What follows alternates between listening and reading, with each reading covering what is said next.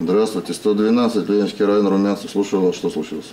Уже два года в Московской области работает единая дежурно-диспетчерская служба 112. Главная ее цель – организация удобного вызова экстренных оперативных служб по принципу одного окна. Теперь нет необходимости набирать привычные с детства номера 01, 02, 03, 04.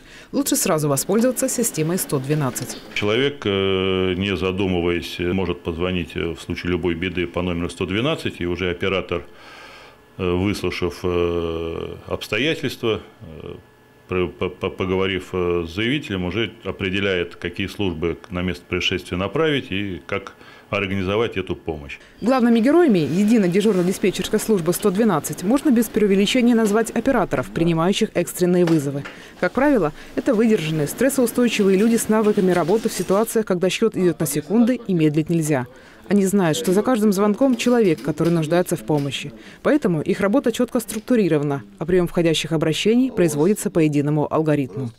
Временные сроки очень ограничены. Если звонок проходит к нам, значит мы ограничены временем 8 секунд. После этого составляется карточка, э, в которой э, ну, записываются там все данные и тема, с какой обратился человек. Оператор э, определяет, кому нужно отправить полицию, скорую, пожарную, газовую службу. И, а бывает так, что все вместе. В службе 112 идут в ногу со временем и постоянно совершенствуют навыки своей работы. Одно из последних новшеств – использование систем геолокации, позволяющих максимально точно определить местоположение звонившего человека. Особенно актуально это сейчас, в осеннюю пору, когда люди идут в лес за грибами и, к сожалению, иногда там теряются. Кроме того, с лета 2017 года обратиться в единую службу экстренной помощи можно не только по телефону, но и через мобильное приложение системы 112 Московской области.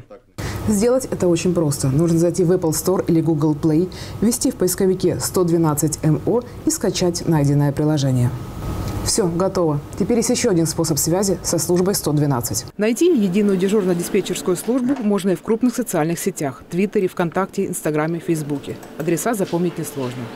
Екатерина Коваленко, Владимир Бежонов, Евгений Садовский, Ольга Садовская. Видное ТВ.